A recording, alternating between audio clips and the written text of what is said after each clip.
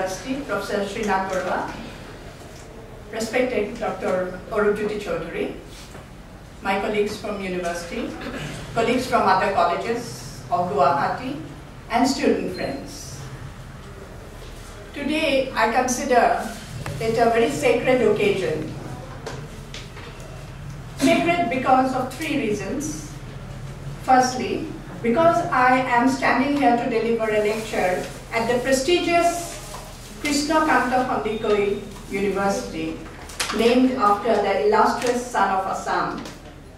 It is, a, as you all know, a very upcoming university, and I can see the progress. I'm very happy to see the progress of this university. I am standing here to deliver a lecture at this place. Secondly, this university is celebrating the World Philosophy Day. The World Philosophy Day is actually on 19th of, falls on 19th of November, which is supposed to be the birthday of Socrates. But due to some technical reasons, it is celebrated today. It is a very auspicious occasion.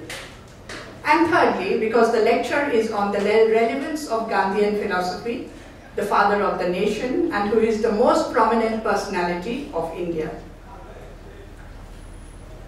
Mahatma Gandhi, so famous, in, in, not only in India but abroad, throughout the globe. He was not a very intelligent person.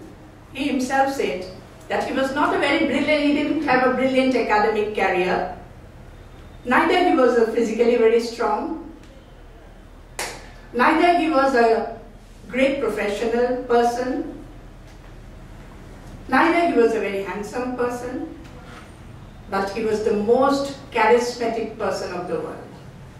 A person clad in a dhoti up to his knees. The question is, what makes this person, such a frail looking person, so very great? And Indeed, there are answers to this question. It is known that Mahatma Gandhi was chiefly known in our country and abroad as a person who is responsible for bringing about the independence of India, freeing India from, from the yoke of the British. But that is not the only contribution of Mahatma Gandhi. He, his contribution, I feel, is particularly for his character the ideals, the thoughts that he gave to the nation as a whole, to the people of the nation. We must note the fact that though Gandhi is often described as a politician, it is not the politics that made him great, but it is the spiritual outlook behind all the activities of Mahatma Gandhi, be it in the political field, be it in the economic field, be it in the social field, and so on and so forth. We, I, will check, I will take the relevance one by one. First, I will deal with the spiritual aspect of Mahatma Gandhi. Mahatma Gandhi's faith in God is well known. To quote Gandhi, I will be quoting Gandhi now and then. To quote Gandhi, you may pluck out my eyes, but that will not kill me. You may chop off my nose, that will not kill me either. You may cut off my hands and arms, but I will still continue to live. But blast off my belief in God, and I am dead. So it is this belief in God, the belief in the spiritual outlook, that, that has given the strength to all the activities and activities of Mahatma Gandhi. It is the spiritual outlook which is always at the background. His ideas of Swadeshi, his ideas of Brahmacharya, his ideas of Ahimsa, his ideas of Swaraj, all are from the background of the Hindu religion. but he himself claims that it is not only the Hindu, Hindu religion that has influenced him, the religions of Islam, Christianity, Buddhism, Jainism were all at the background of his ideas. Gandhi said, I have nothing new to give to the world. What I say is as old as the hills. The is, where lies the uniqueness of Gandhi? If all that Gandhi said is found in the Vedas and the Upanishads and the Bhagavad Gita, where lies the, where lies the uniqueness? Where lies the relevance? Gandhi himself gave answer to this question that the only thing that I did was to apply these universal principles to the day-to-day activity of the people. So Gandhi was the most practical philosopher, I should say. He was the philosopher, yes, he did not give us anything new. We find them in our scriptures. We find them in the Bhagavad Gita, we find them in the Upanishads, in the Rig Vedas, in the Quran, in the New Testament, and so on and so forth. But he was the first person, maybe he, there were other person, but no, never did a person strongly enforce or strongly apply these spiritual principles to the life of a day-to-day man. And it is not only the individual man that has been influenced by the spiritual outlook, it is the countrymen, the people as a whole. Because Gandhi believes that the Swaraj of the individual is the Swaraj of the people is the Swaraj of the sum total of all the individuals. Because it is the, basically it is the grassroots, the individual, which is important. If one individual changes, the world, change, world can be changed. Because he can influence his neighbor, he can influence his students if he's a teacher, a parent, parents can influence their children, and so on and so forth. So the grassroots, the individual, is very, very important according to Gandhi.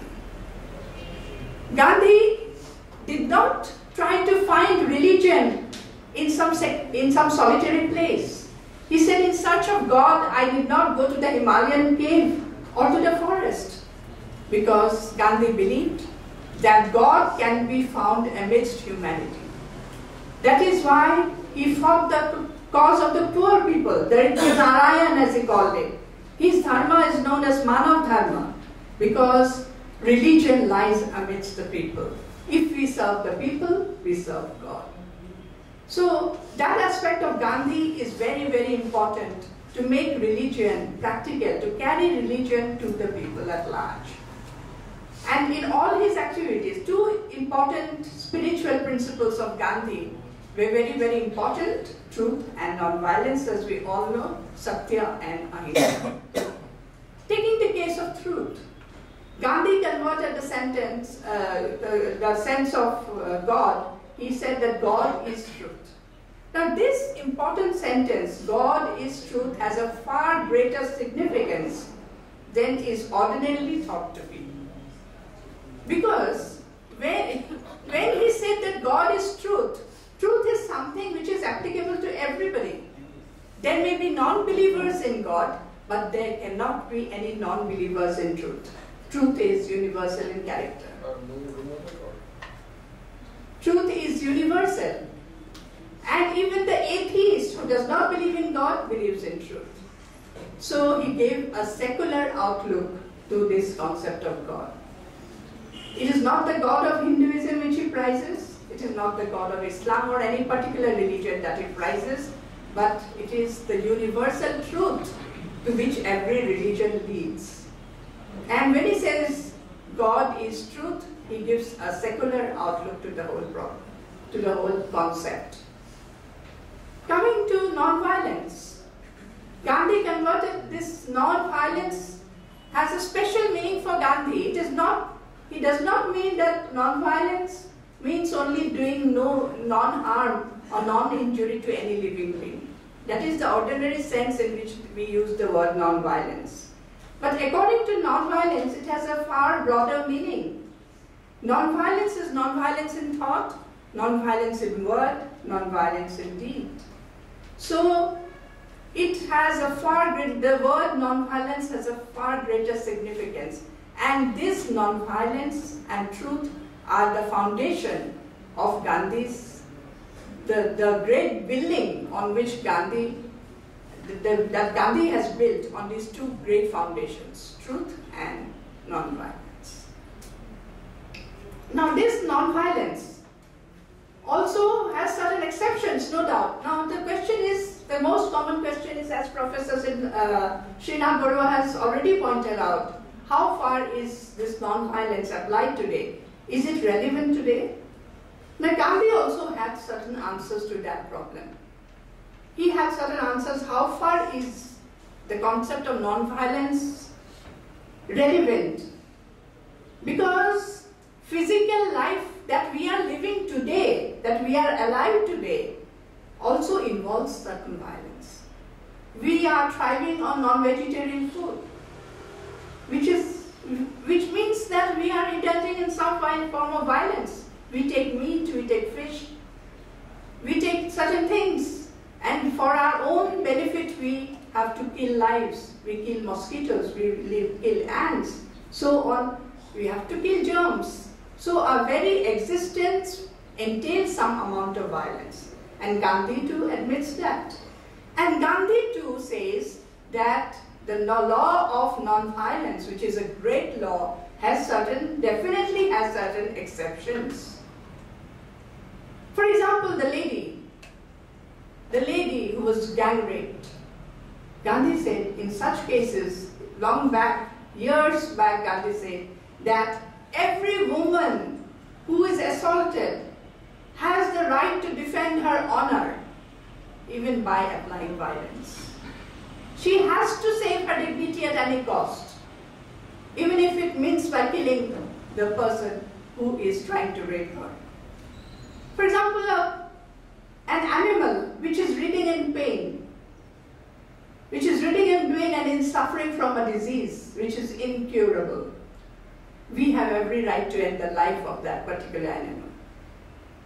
So Gandhi gives certain exceptions where non-violence as an ideal can be violated, can be violated. And when there was a comparison between non-violence and cowardice, cowardice, Gandhi said, if you ask me which alternative to accept. When there is a conflict between non-violence and cowardice, Gandhi said, I would definitely prescribe violence than prescribing cowardice. In other words, violence, uh, cowardice is even worse than violence. And non-violence, as I have already mentioned, does not mean physical injury. If I hate somebody, greed, lust, hatred towards anybody, if I have filth in my mind and I'm non-violent, physically non-violent, it does not mean anything. My non-violence must find expression in love, in positive love. So love towards everybody, not only towards human beings, not only towards my neighbors, love to even the meanest of creation, the animal kingdom, Gandhi fought for against the slaughter of cows. But it is not only the cow slaughter that he prohibited. It is in, uh, it is in a broad sense the prohibition of the slaughter of animals, doing violence to animals. So it is positive love towards every creature on earth.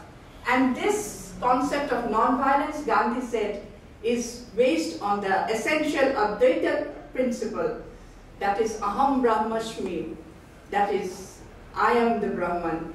The whole unity, the, the whole creation is one because it is the creation of Brahman. Brahman Satyam Jagat Mithya, Brahma Jiva, Jiva Brahmaiva Navara.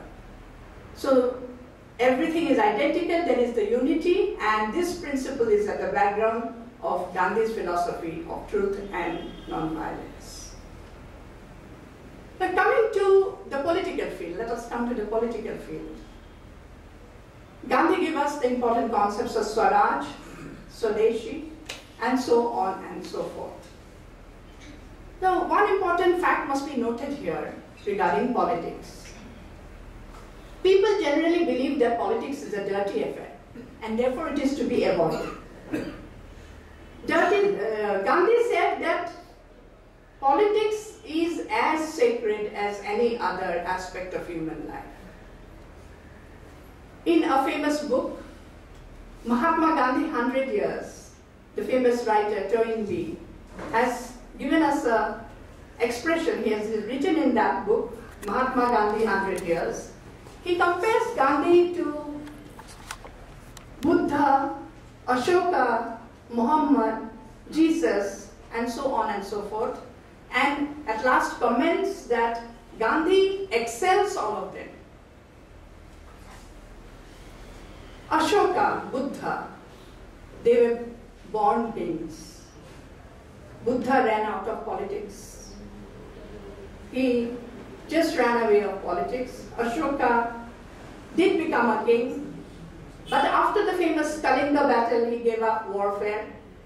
He was king only in name, but he was more interested in the Buddhist principles and the philosophical or spiritual principles. Jesus and Muhammad, they were, they indulged in, in politics due to the need of the time. During Muhammad, Muhammad's time, we know how it compelled Muhammad to take active, take some part in the political affairs of the country due to political unrest.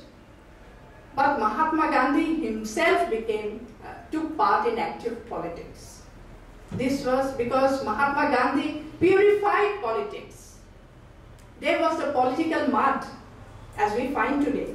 Political mud, political impurities. Even in those days it was there.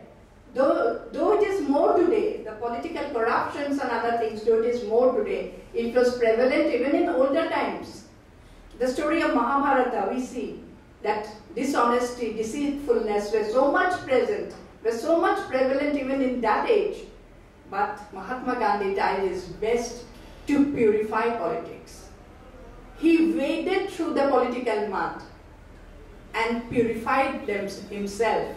He stayed away from the political sluggishness, from the political mud, from the political impurities, and showed to the world, presented to the world, that politics can be sacred as any other aspect of human life.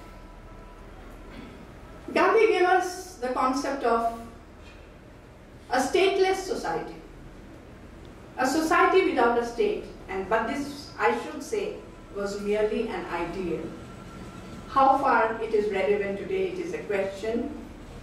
No doubt there cannot be people without a state, but Gandhi himself said that it is only an ideal. It is only an ideal because people should be there, try to govern themselves. And he believe in the principle that that government is the best which governs the least. Because political interference, too much of political interference saps the freedom and the creativity of the people. At every moment, if you have the fear that somebody will interfere with your freedom, somebody will interfere with your acts and what you do and what you not do, then like communism, there will be, the creativity will be lost. He had strongly had that feeling. And therefore, ample freedoms should be given to the people so that each person can rule himself. Swaraj, what is the meaning of Swaraj? Swaraj is essentially is a word which was not coined by Mahatma Gandhi. It was a word found in the Taittiriya Upanishad. In the Taittiriya Upanishad, we find a brilliant, a beautiful sloka which says, Pranaram mana, mana anandam shanti samriddham swarajya. So what is Swaraj? Swaraj is a state, a condition of mind actually, where there is peace, complete bliss and happiness. Pranaram mana anandam, that which gives ananda to your mind. Shanti, peace.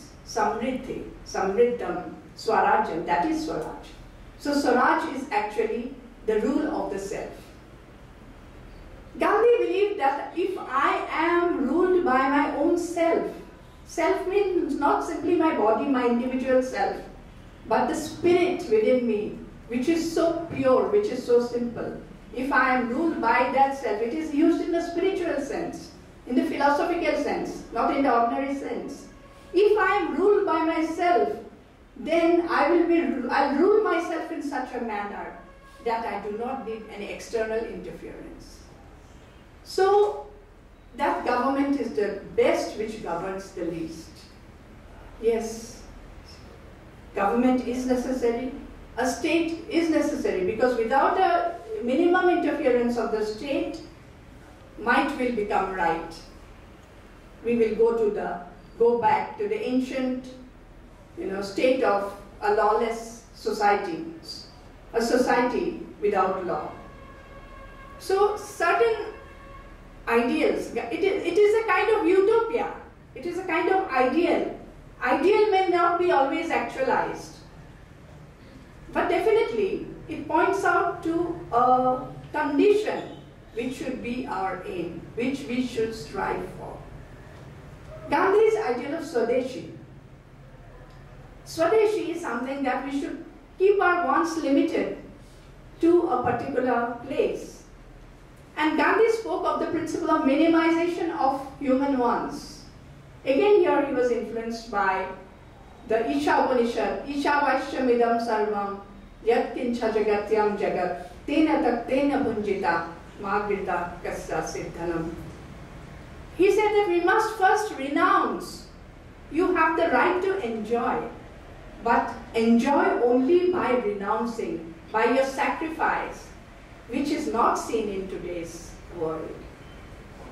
Today, the ideal is only to earn and earn and earn. Earn for whom? For myself. Do I care for others? Not at all. This is the scenario of today's economic life, today's political. I'm earning for myself without being concerned about my neighbors, for anybody. My only ideal is, my only worry is to amass the huge amount of wealth for myself, which was against Gandhi's ideal, which was against the idea taught by our sages and seers long back from the ancient times. So that very ideal of the Isha Upanishad that you must first sacrifice, you must first renounce in order to enjoy. The basic minimum economic comfort is a must. I have to eat and live.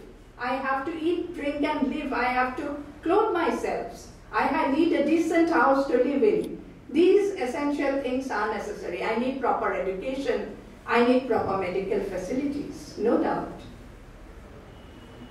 As Swami Vivekananda said, you cannot teach philosophy and metaphysics to a hungry man. But the only food, the only thing that a hungry man needs is invigorating food.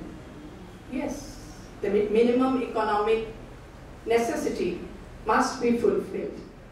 But beyond that, amassing the huge, of, huge amount of wealth is a crime.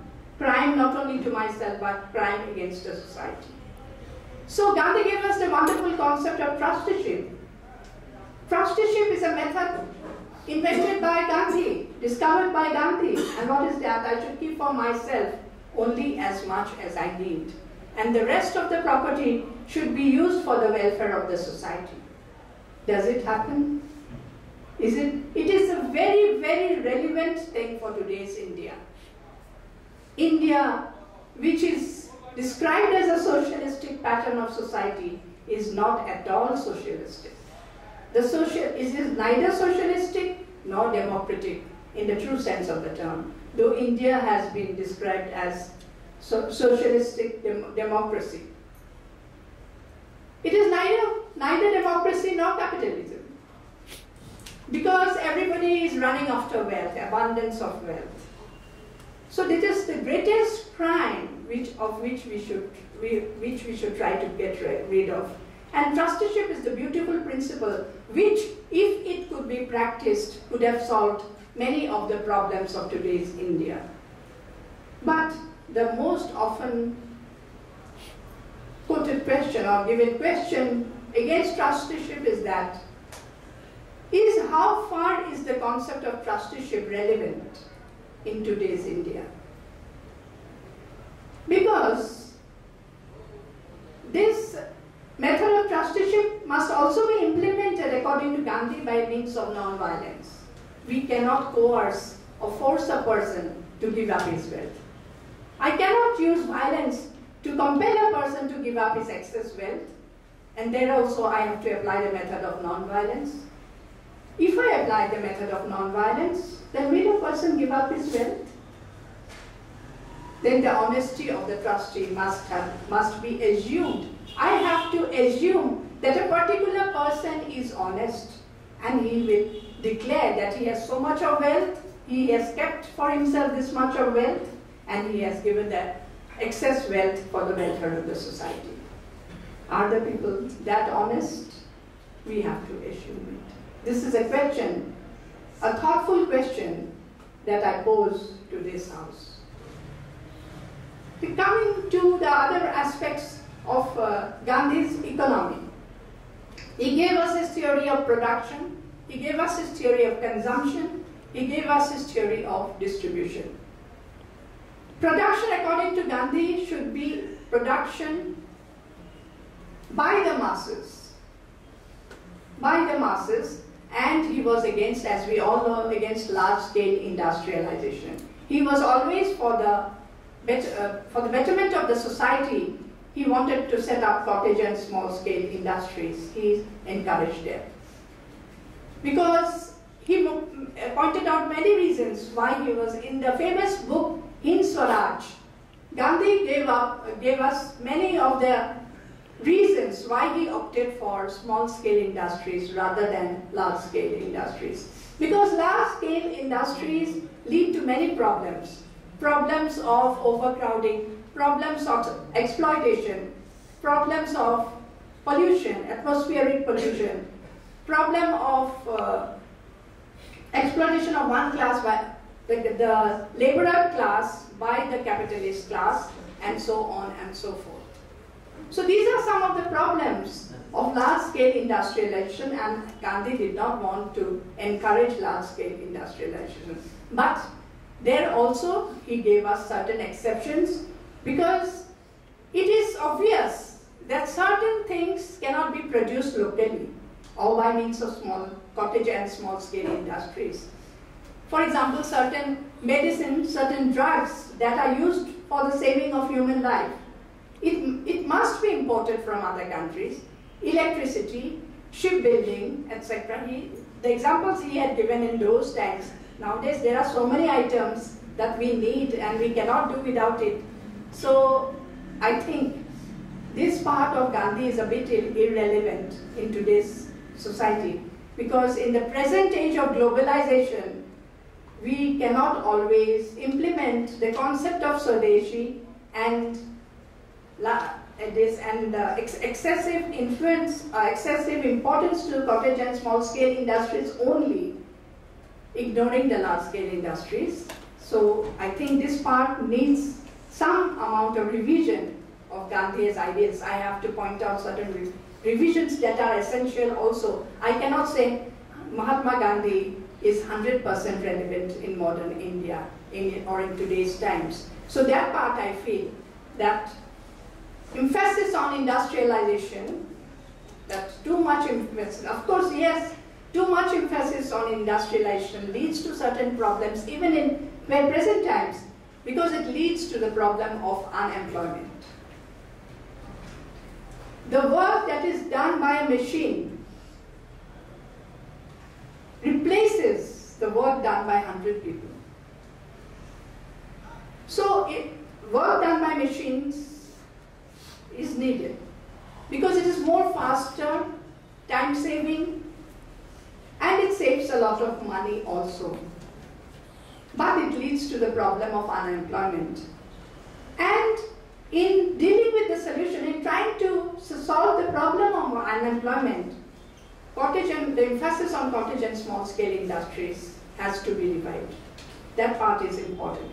Because now we have come to a position or in a, in a condition in India where so many youths are unemployed and we, the government we know is going back to the Gandhian policy of helping the modern youth to set up certain small scale industries, be it farming, you know, farming, cultivating a small, small plot of land, growing tea, growing certain vegetables and fruits within their limits, and uh, um, uh, weaving cloth in their own house and so on and so forth. So many such avenues are pointed out by the present government by giving loan and other facilities.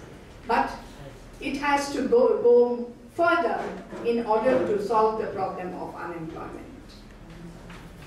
Then regarding the concept of distribution, Gandhi pointed out that the maxim of equal distribution, that is, he preached the concept of economic equality. Everybody should get equal amount of wages, equal amount of things.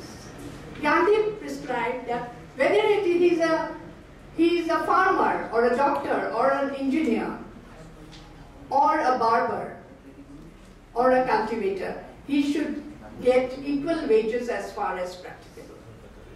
But this getting of equal wages, how far is it practicable in today's society?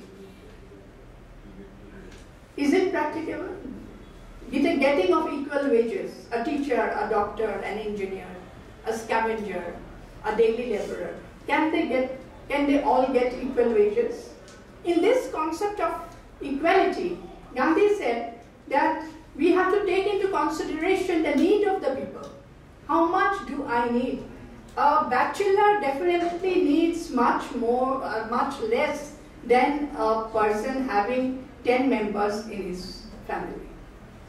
Because he gave an example in this aspect, he said, an elephant needs a thousand times more food than an ant. The amount that an ant consumes and an amount the elephant consumes cannot be made equal. Similarly, a person having 10 members in the family cannot be given equal wages as a person having two members in the family. Moreover, there are other considerations that one should take note of, whether he has small children, whether he has elderly parents, because elderly parents need more care, they need medicine, they need medical facilities, and younger children, small children need education and other things. So it differs how much he, Gandhi himself pointed out that these considerations must be taken into account. But as far as practicable, I'm quoting Gandhi, as far as practicable, we should try, it should be a maxim to give equal wages to all.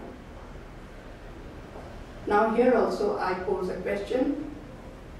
Let the audience, let everybody think, is it possible to give equal wages as far as practical?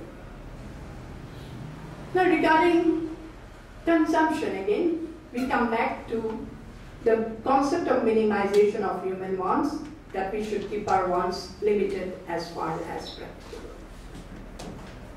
Now, there have been so many other concepts of Gandhi in the economic field which needs to be re-evaluated. We have to see whether they are applicable in today's society or not. Coming to the social aspect, Gandhi was against the, the uh, uh, prevalent custom of untouchability. Untouchability, Gandhi gave so much importance on untouchability that he even forced his wife to clean the toilet of an untouchable. He fought for establishing equal rights of all the people in the society.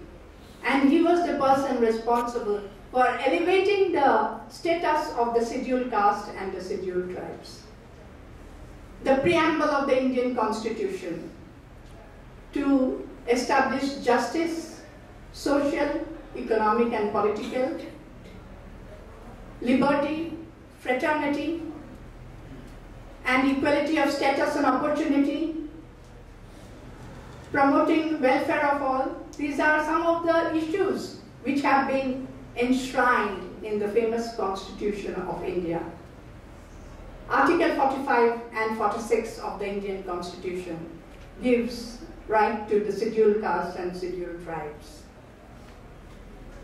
Now these, this is the fruit, what we have in the Constitution today the fundamental rights and the directive principles of state's policy enshrined in the Constitution are the fruits that we have reaped due to the Gandhian ideals. But, But how far? There have been so many amendments in the Indian constitution. You will know how many amendments in the Indian constitution that have taken place. But I feel that there should be further amendments so that the ideals do not remain mere ideals. Yes, if you go to the court, you file a suit. If you are not given justice, if you are not given justice, you go to the court and file a suit. But you know the system, legal system of today. Years and years pass by and people do not get justice. Yes, it is very much there in the constitution, but does it happen practically? Do people get real justice? Many a case, many a times we see that people simply die without their cases being solved. So promptness, promptness in judiciary is a very essential factor. It is not enough that I have that I write something in a book and just keep it as a scripture. But I must be able to implement what I believe in. This, this fact of implementation is something what is lacking in today's India. Ideals, Indian ideals are beautiful. Gandhi's ideals are beautiful. We have beautiful ideals. Even in our scriptures, we have beautiful ideals. But how far are we implementing those ideals in the true sense of the term? The delay, the delay in re receiving justice is a very important matter that we should think about. Gandhian ideals are such that it prescribes certain important things. Gandhi says that there should not be there should not be work, there should not be worship without work. There should not be trade and commerce without morality. There should not be politics, politics without principles. There should not be economics without justice. Yes, morality must be very much there. It is not enough that we secure, we strive for a good end. Gandhi discussed this question about means and ends. Most of the cases what we see, our ends are noble, we have noble ends. But the means that we employ to secure that end is immoral. He gives, gives us a beautiful example for this, that a tree, tree bearing fruits of poison cannot give us nectar. if the fruit is poisonous, then the nectar from it will, it will be poisonous. So the means must be, so here he differs with Karl Marx and Lenin. According to Marx, the end justifies the means. But to secure social equality, to secure unity and brotherhood, according to Marx, we can employ even violence. Yes. But Gandhi does not prescribe to that view. If the end is good, the means employed must also be good. In other words, the means employed to secure a good end, end must also be a non-violent means. So if you want independence, if we want to have our rights, if we want justice, we cannot go and simply kill people for the sake of justice, for the sake of equality.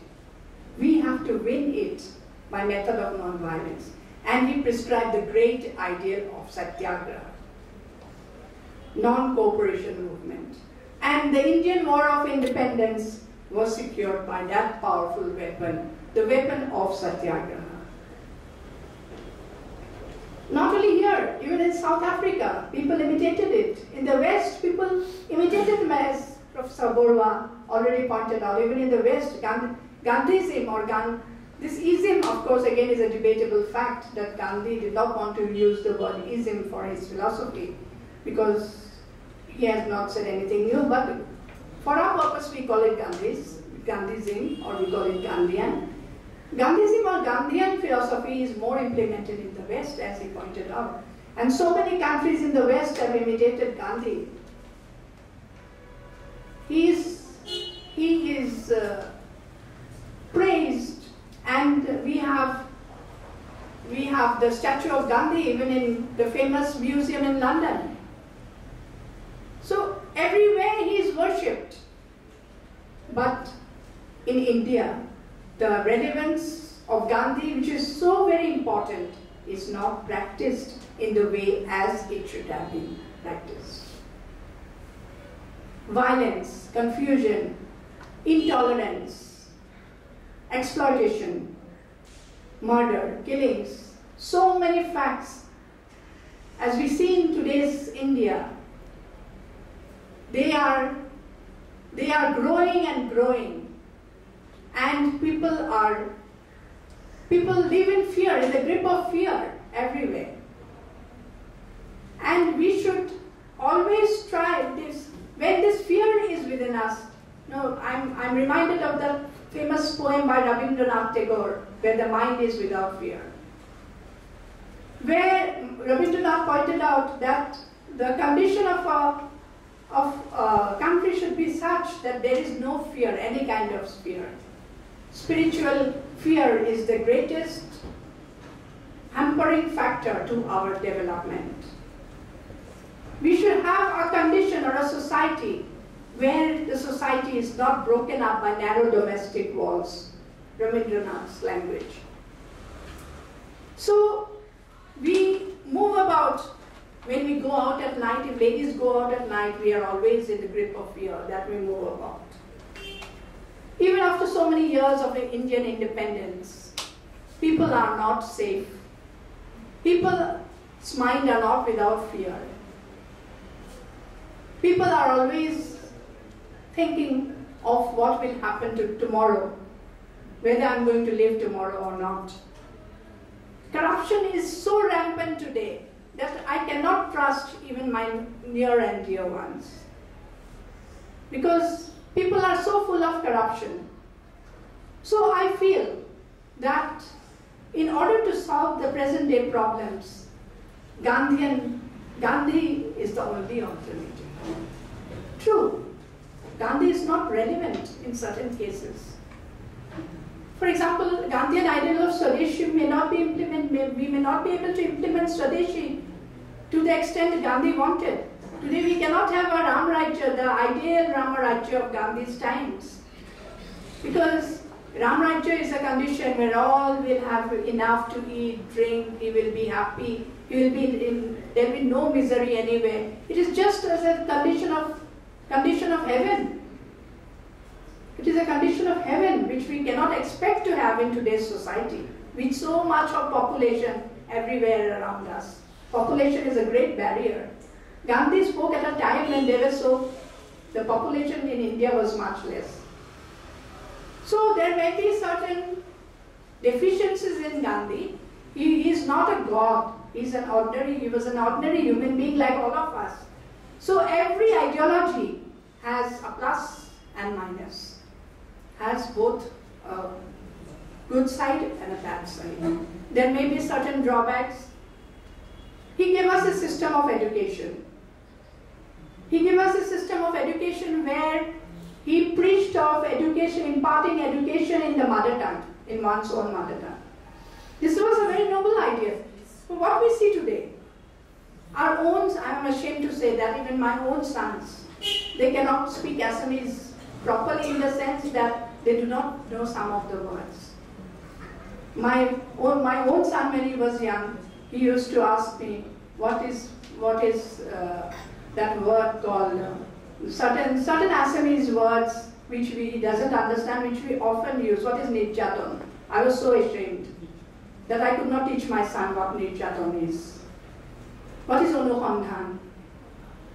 These are some of the words which I could not teach my son when he was very young. Now, now of course they know. But that was the reason why Gandhi said that up to a certain age one should get education through the medium of one's mother tongue. English is a must. We have become slave to English. We cannot get rid of it very soon.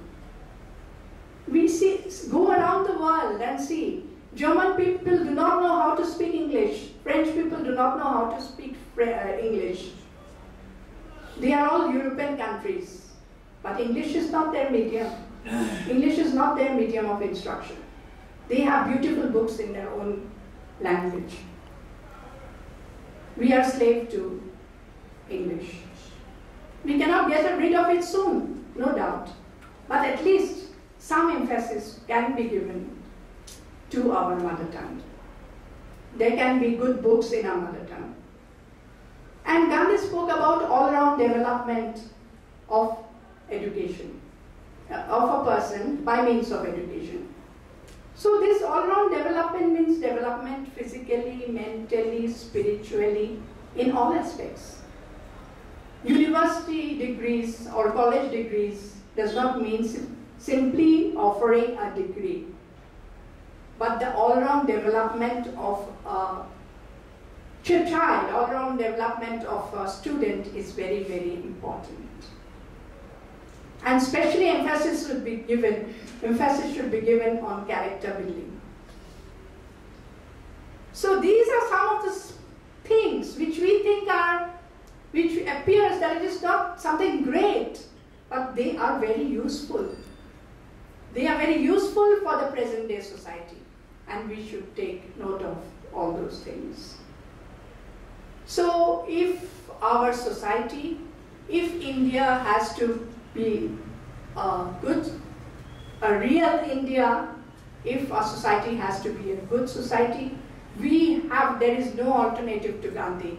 We have to follow the Gandhian method only if with, without, with, by, only with certain modifications. So if we want that untouchability should go, then we should have faith in the maxim that all men are brothers. If we want that disproportionate wealth and income should go, then we should have faith in the principle of minimization of human wants. If we want to have a proper education, we should have faith in the ancient system of education, which gave more importance to spiritual upliftment rather than economic upliftment. So, Gandhi is very, very relevant today. And he was a person who gave us, who gave us the beautiful ideals, who gave us beautiful structure and how far we implement them. It depends on the individuals who form the society. Because it is the individuals who are going to implement the Gandhian ideals. And with these remarks, I conclude my lecture. Thank you.